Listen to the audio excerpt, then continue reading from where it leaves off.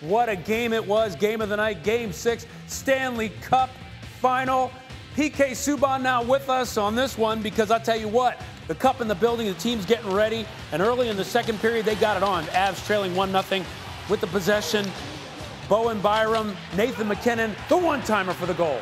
Yeah, the Avs found a way to get it done last night, and it started with their big players. Nathan MacKinnon getting them on the board. This was a huge goal, and then it was all Avs after this. And then I like this one. MacKinnon's pass redirected to Artturi Lehkonen. He gets the score right there.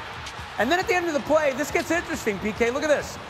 Yeah, Pat Maroon, was a little bit upset. Manson had sort of uh, slowed down Bellemare a little bit, which didn't allow him to get back on the back check, and uh, that was proven to be the winning goal.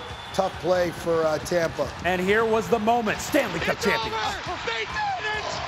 Did it! The job is done! The Colorado Avalanche are Stanley Cup champions! You have your champs. You have Cale Makar, your Conn Smythe Trophy winner, playoff MVP. The Avs, third Stanley Cup in their history, their first since 2001. And what a win it was for them. The Avs never trailed in a playoff series this entire year. They became the fifth team since the 1980 since 1985 to win the cup as a preseason favorite.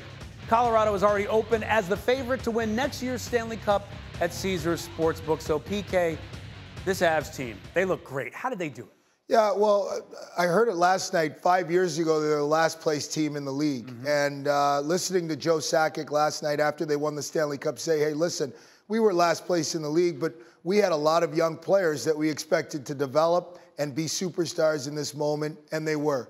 Um, you know, this team was built through the draft. You got to give Joe Sakic, uh, Stan and Josh Kroenke, the organization Colorado Avalanche, a ton of credit for putting this team together. And then they went out and they got some free agents. They they surrounded these guys, insulated these, this young group, this young core group that's been there for a long time with some experience, and that put them over the top. But you could see as the playoffs went on, this team got better and better. You can't go undefeated in the Stanley Cup playoffs. They didn't.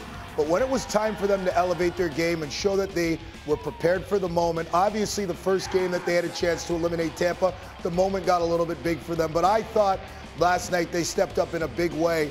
And not only did they win the Stanley Cup, but last night their effort showed to me personally that this team could be a contending team for years to come. And it starts with what Gabe Landeskog had said. You know, how do you put together a team like this to win a Stanley Cup? You find a Cale Makar. He was all world all year, and in this playoffs, Conn Smythe Norris Trophy, he's definitely up there with the best best of the players in the league right now. And uh, what a special time for him as a defenseman that's played in the league for 13 years. To see a young player like this come into the league, he's 23 years old. Man. Like Conn Smythe Trophy, Norris Trophy, Calder Trophy. Like this guy's come into the league and has played like we haven't seen before.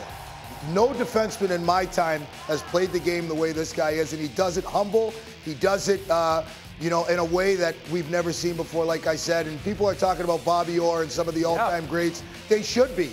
They should be. That's how wow. good this guy is and he's going to be great for a very, very long time. I was talking to Roman Josi about it. We had exchanged some text messages, and I, I said to him, I said, man, it would have been nice to see you win your second. And he said, yeah, it's tough because we know that this guy's probably going to win the next six of them. You know, he's that good. Wow. He's that good. So I want to give props to, to Cale Makar. He's been the difference for this team and definitely a huge edge on them winning the Stanley Cup this year. I praise when you got guys like you, yep. guys like Roman Josi saying he could win six of them.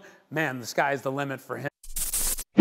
Thank you for watching ESPN on YouTube. For live streaming sports and premium content, subscribe to ESPN Plus.